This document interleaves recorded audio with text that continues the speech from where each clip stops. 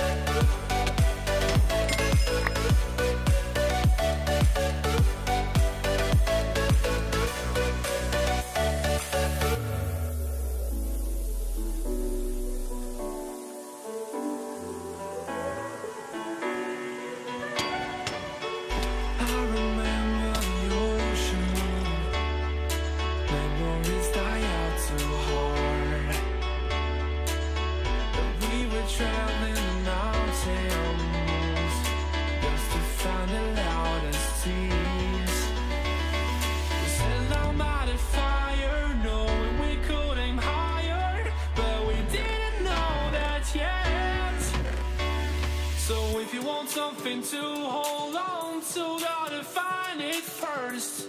But here I am, cause I've been laying under palm trees waiting.